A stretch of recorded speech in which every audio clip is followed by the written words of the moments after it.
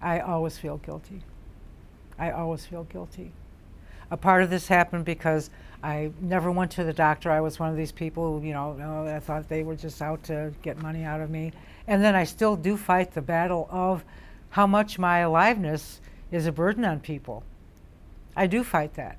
I cost a lot of money in hospitalization and doctor bills. I cost a lot of money in time.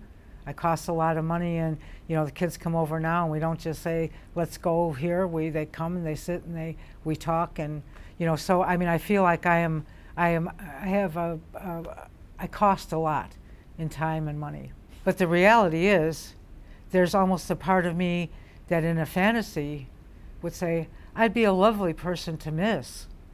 You know, you'd have so many wonderful memories that wouldn't cost you a damn dime.